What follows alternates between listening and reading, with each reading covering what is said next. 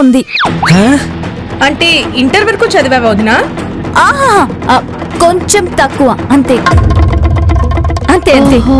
అయితే టెన్త్ క్లాసా? ఆహా కొంచెం తక్కువ అంతే.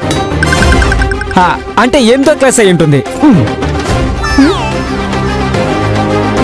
దాదాపు దగ్గరగానే చెప్పారు. కానీ ఇంకొంచెం తక్కువ.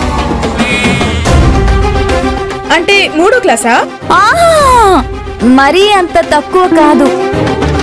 కొంచెం ఎక్కువే. నాలుగో క్లాస్ అయి ఉంటుంది. ఆ దాదాపు అదే ఖాయం చేసుకోండి. ఆ,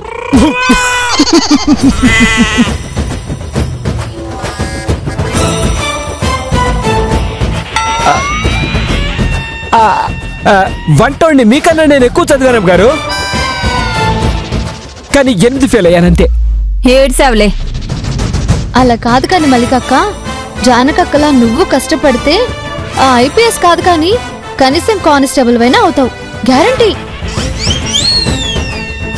పెద్దదిన ఐపీఎస్ రెండోదిన కానిస్టేబుల్. కాంబినేషన్ అదిరింది జెస్సీ వదినా.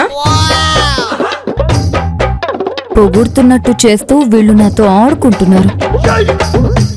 మనం ఏ మనిషిని తక్కువ చేసి మాట్లాడకూడదు వెన్నెలా? ఏ ఉద్యోగాన్ని తక్కువ చేసి మాట్లాడకూడదు?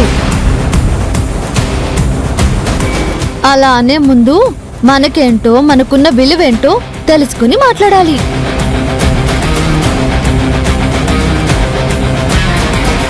జానకి లేదు కదా అని జెస్సీ జానకి ఇలా ఫీల్ అవుతుంది. ఆవిడ గారేమో ఐపీఎస్ చదివి గొప్ప అనుకుంటుంది. ఈవిడ గారేమో ఇంటికి మొదటిగా వారసునిచ్చి గొప్ప అనుకుంటుంది. తొక్కేస్తా జెస్సీ. తొక్కేస్తా. చెప్తా.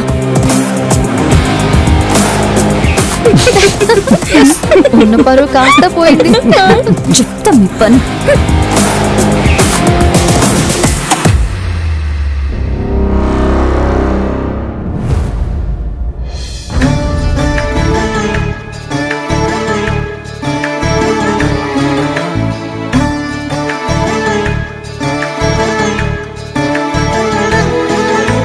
జ్ఞానం? రామా ఎక్కడా? సరుకుల కోసమని వెళ్ళాడు. ఇంకా రాలేదు. వాడి కోసమే ఎదురు చూస్తున్నాను. మీకు వడ్డించమంటారా? ఎందుకులే? వాణ్ణి కూడా రాని. ఏంటో? ఇంట్లో తగ్గింది ఒక్క మనిషి అయినా పది మంది లేని లోటు కనిపిస్తుంది. అవును పెద్దమ్మ గారు జానకమ్మ లేకపోతే ఇంట్లో సందడే లేదండి. రోజు పొద్దున్న రాత్రి టాబ్లెట్లు వేసుకున్నారా మావయ్య అని గుర్తు చేస్తూ ఉండేది. టాబ్లెట్లు వేసుకున్నప్పుడల్లా జానకే గుర్తొస్తుంది. తనెంత హడావిడిలో ఉన్నా నాకు ప్రత్యేకంగా కాఫీ కల్పించేది. జానకి చేతి కాఫీకి అలవాటు పడిన ప్రాణం వేరే కాఫీ తాగనంటుంది. జానకి ట్రైనింగ్ అంటూ వెళ్ళి ఒక్కరోజు కూడా కాలేదు. ఇంటిల్లి పాది దిగులు పెట్టేసుకున్నట్టున్నారే. మీకేం అనిపించట్లేదా మల్లికక్క? పైకి చెప్పుకొని బాధపడేంతగా నాకేం అనిపించడం లేదు జెసీ జాన్కి వెళ్ళింది పదకొండు నెలల శిక్షణకి. అదేంటో? మనింట్లో మాత్రం గంటలు గంటలు తలుచుకుంటూ కళ్ళు తుడుచుకుంటూ ఉన్నారు.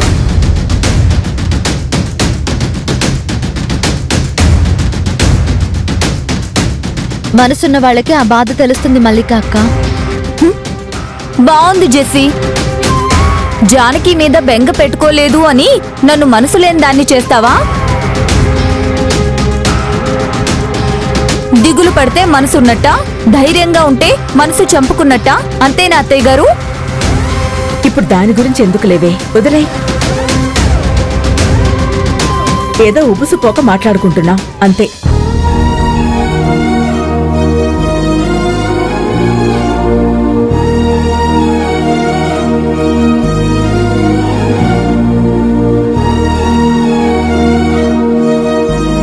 నేను కూడా వస్తానంటే వద్దన్నారు కదా బాబు. నీ సుత్తి భరించడం కంటే ఈ బ్యాగులు మోయడమే తేలిక! ఊరుకోండి రామ్మ బాబు. వినేవాళ్ళు నిజం అనుకుంటారు. మీరు కాసేపు ఇక్కడ నుంచుంటే తెలుస్తుంది ఎవరెక్కువ మాట్లాడుతున్నారో.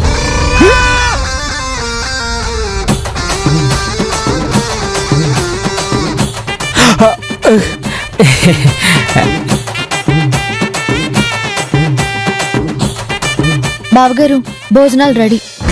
అవునా? నా కడుపులో కాలిపోతుంది. ఈరోజు ఏం వండారు? గుత్తొంకాయ కూర. ఆహా గుత్తొంకాయ కూర అంటే జానక్ గారికి చాలా ఇష్టం అమ్మా. పిలుస్తూ ఉండమ్మా కలిసి భోజనం చేద్దాం. జానక్ గారు గుత్తొంకాయ కూర అంటే తొందరగా వచ్చేయండి తిందాం.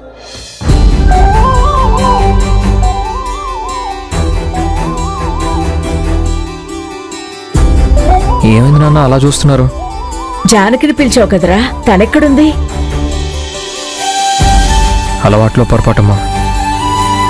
జానక్ గారు ట్రైనింగ్కి వెళ్ళారన్న సంగతి ఎందుకో మనసుకు తట్టలేదు. గదిలోనే ఉన్నారనుకున్నాను. నెమ్మదిగా అలవాటైపోతుందమ్మా.